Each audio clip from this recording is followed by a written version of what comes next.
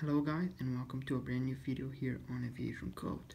Today we'll talk about something very exciting. Uh, today Airbus published a photo on their Twitter account where they showed the new WOW Air uh, Airbus A330neo with its full livery.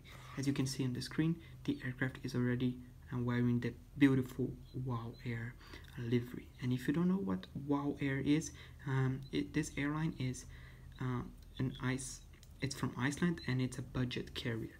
And I, Air is taking delivery of four Airbus A330-900s, uh, which are the Neos, uh, new engine options. And this is a very, um, very large expansion of their fleet, which is, in, uh, which is small but it's increasing. Anyways, the airline will increase its fleet by seven jets to a total of 24 uh, jets. Uh, the airline is leasing A330neos from CIT Aerospace, and this lease will last for 12 year periods. The aircraft will be configured with 365 seats in a single class cabin. Uh, as mentioned before, it's a budget carrier, and budget carriers don't usually have uh, different classes. Um, the airline hasn't released a route for this new Airbus A330neo, However, on the Airbus A330neo um, has a potential to reach uh, cities, um, has a potential to start routes from Iceland to Hong Kong or Honolulu.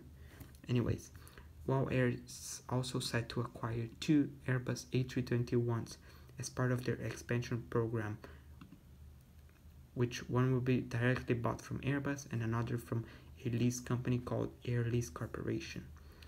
WOW Air currently has six aircraft on order, including uh, the Airbus A320neo, uh, Airbus A321neo, and the Airbus A330-900. And the airline currently operates um, the Airbus A320 family and Airbus A330 300s.